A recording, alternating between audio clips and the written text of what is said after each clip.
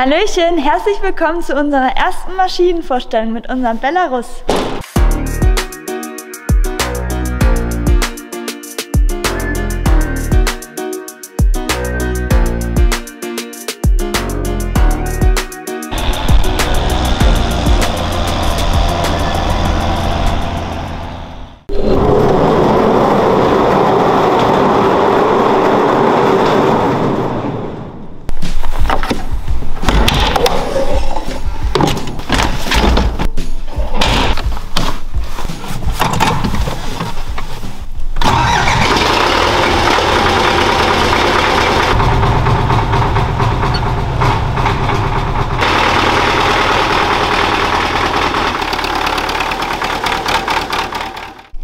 Jetzt nochmal Hallo zu unserer ersten Maschinenvorstellung mit unserem schönen Russen, unseren Belarus.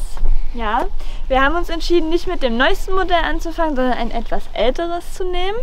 Ja, und hier steht er nun in seiner vollen Pracht. Der hat ja schon einige Stunden auf dem Buckel und ja, wurde natürlich auch wieder nicht geputzt für unser Video.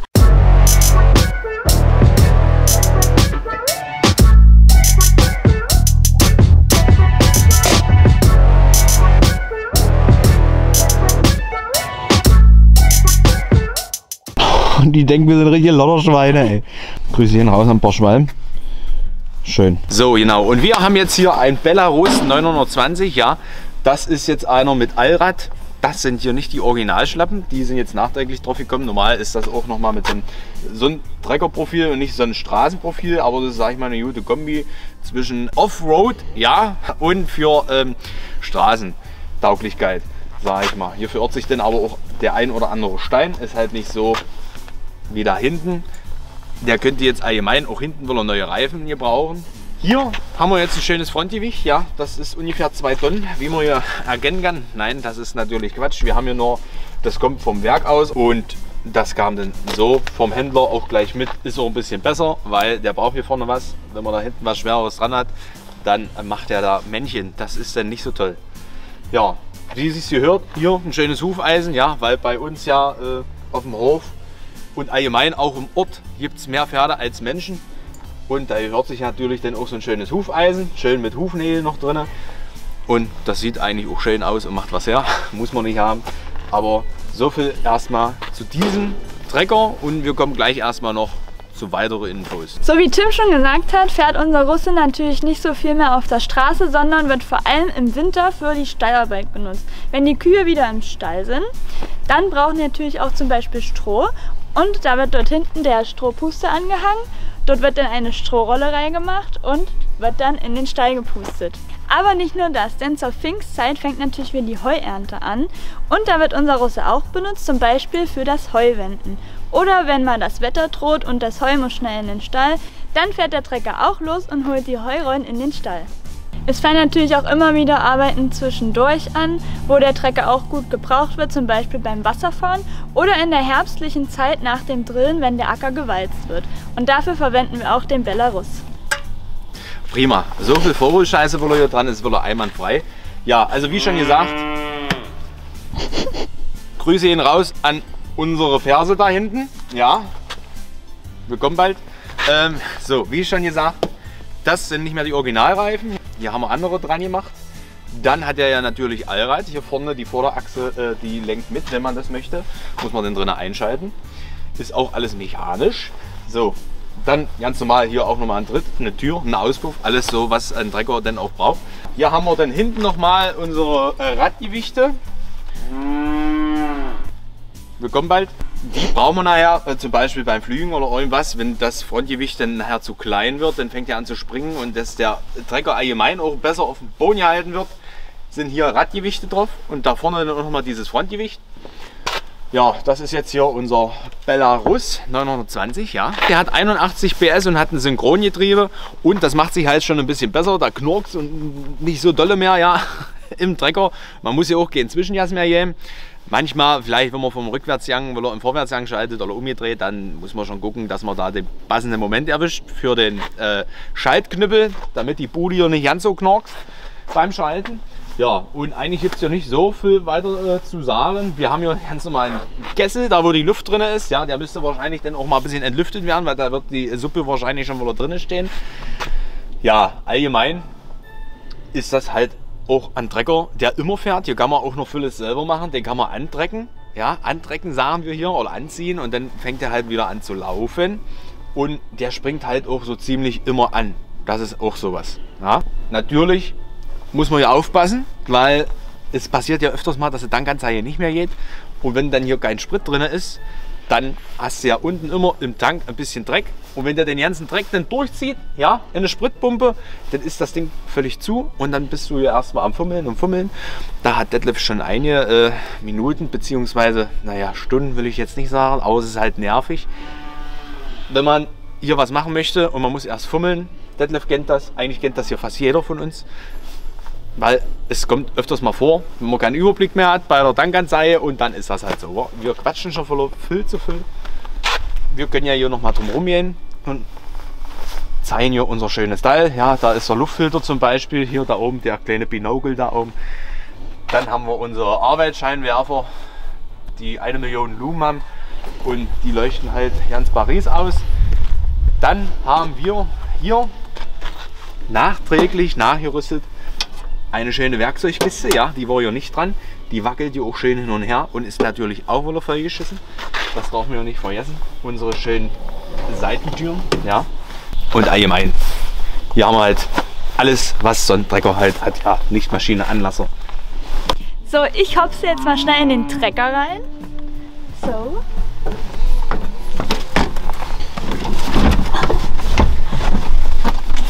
So, erster Eindruck von der Kabine, es sieht komplett anders aus als bei den neuen Treckern. Ich saß ja hier noch nie drin, das muss man dazu sagen. Ich saß bisher immer bei den neuen Treckern drin. Ja. So, ich wüsste jetzt schon mal gar nicht, wie ich den zum Starten bringen müsste. Ja, das ist auch ein bisschen hier mit dem Trick versehen. Ist das eigentlich original so, dass man die Kabel Wie die so Kabel, das ist alles original so. Ja, Ja? nein, eigentlich fehlt hier eine Verkleidung. Hier, ihr habt auch ein schönes Schild. Frostschutz aufgefüllt. Ja, das meine ich jetzt aber nicht.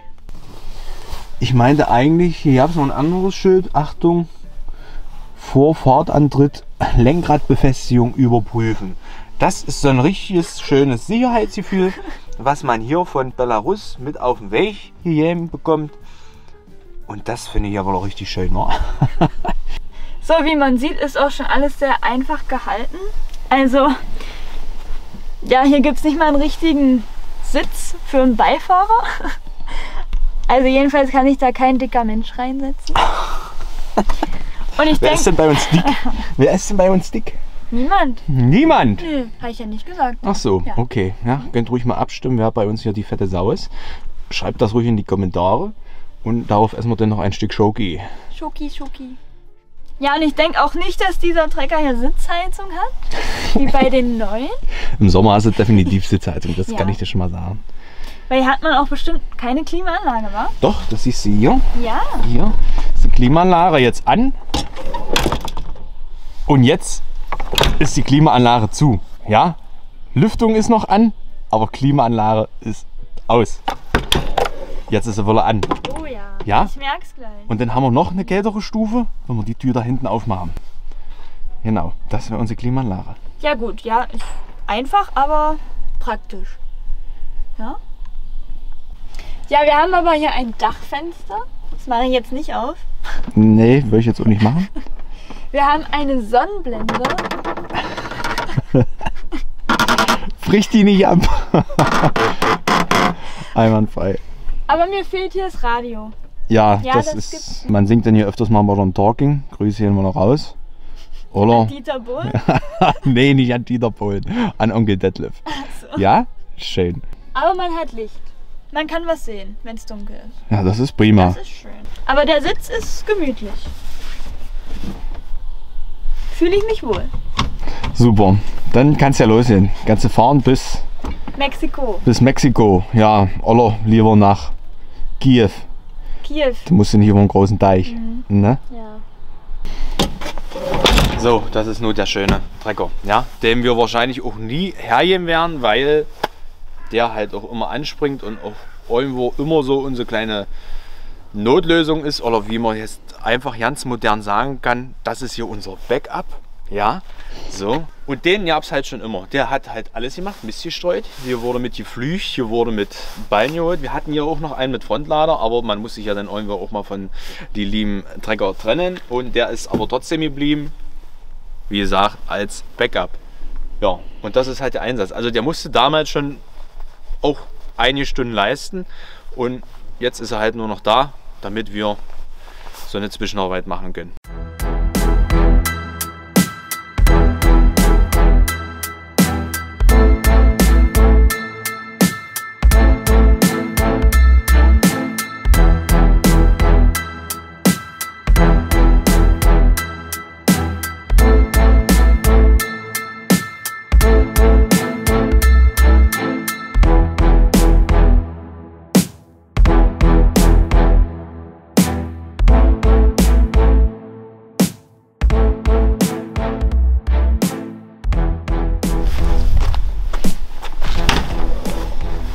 Rein in die Kiste. Oh, Traum. Setzen Sie sich hin, hier, auf unseren Prestige-Sitz. Wir müssen die Door wieder äh, closen. Aua, oh, hier klemmst du dich auch die Faust hier. So. Allererstes, ja, wenn wir den Trecker jetzt natürlich stoppen wollen. Kupplung, dann eine bestimmte Stellung vom Ganghebel, ja. Dann natürlich haben wir hier hinten den Hauptschalter. Zack. So, ich weiß nicht, ob man es jetzt sieht. Hier war der Hauptschalter, den muss man hier rumdrehen. Und dann fängt ja eine Leuchte an zu leuchten. Ja, eine rote Leuchte. Was macht die rote Leuchte? Sie leuchtet. Rot, richtig. So, dann vorglühen ein bisschen. Macht ihr jetzt gerade nicht der Kumpel. Und dann springt die Karre auch an hier, ja. Haben wir hier unser Handjas. Da kann man ein bisschen, Kacke hauen, ja. Da kann man hier mal schön durch die City cruisen mit den Russen. Also Belarus. Ja. Dann haben wir hier noch mal eine kleine Untersetzung. Wenn wir den nach vorne machen, haben wir noch einen größeren Yang drin. Jetzt ist noch ein bisschen der kleinere drin. Der zweite Yang ist drin. Hier sieht man auch noch mal für Anfänger, ja. Hier richtig schöne Beschreibung. Zweite Gruppe, erste Gruppe und hier nochmal die Gänge unterteilt. Ja, Hase ist natürlich schnell, Schildkröte ist langsam. So, Yang ist drin. Welch ist frei und wir können loslegen. Ja, Kupplung quietscht ein bisschen. So, Untersetzung hier müssen wir natürlich machen. Dann müssen wir das hier richtig nach vorne machen und dann haben wir die große Klon mit drin und dann können wir loslegen. Wir fahren immer noch mit hier drin. Jawohl.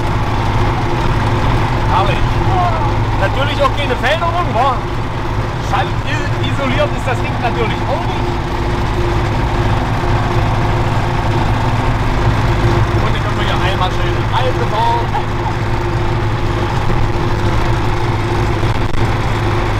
Mit dem Strombooster hinten dran fährt sich natürlich noch schöner. So, und jetzt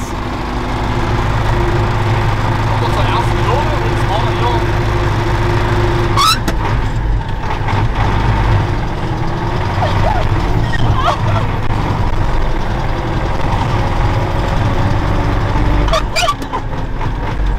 So, und dann fahren wir auch gleich wieder rein in die schöne Garage hier. Wow.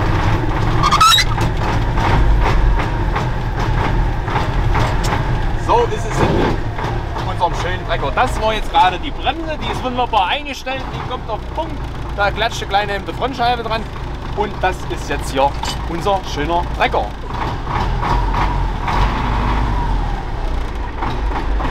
Und eine schöne äh, ja, Sache ist, wenn man den Trecker jetzt ausschalten möchte, hat man ja hier einen Zündschlüssel. Der Zündschlüssel sagt aber null aus, ja. Den kann man hier so zack ausmachen und der Trecker läuft halt immer noch. Dann nimmt man hier den Hebel vom Jas macht den ganz einfach nach hinten. Dann ist das Jas weg und der Trecker ist aus. Und schon ist hier wieder eine wunderbare Stille. Und hier ist wieder arschkalt in dem Trecker. Machen wir mal die Lüftung zu hier. Wa? Nein, wir haben natürlich auch noch eine richtige Lüftung. Hier oben ist das Zeichen. Ja, wir haben Scheinwischer. Wir haben hier unsere schönen 1 Million Lumen äh, Arbeitsscheinwerfer und die Lüftung. Ja, genau. So, und an alle Sicherheitshasen und an alle Klugscheißer, ja. Hier sieht man jetzt unsere Scheibe, die natürlich schon ein bisschen geplatzt ist und gerissen. Das liegt einfach daran, dass es keine Originalscheibe ist.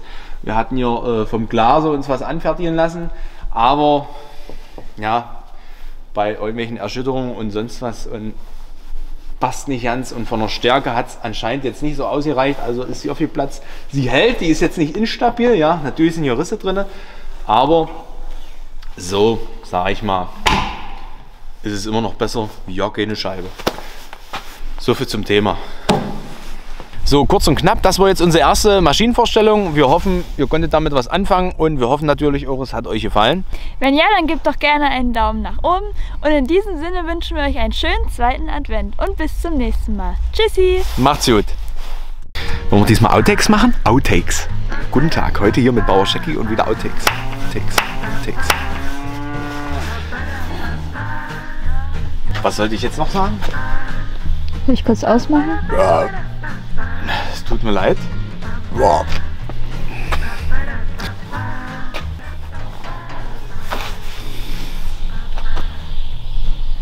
Heute, heute haben wir ja auch wieder unseren modernen Meister raushängen lassen.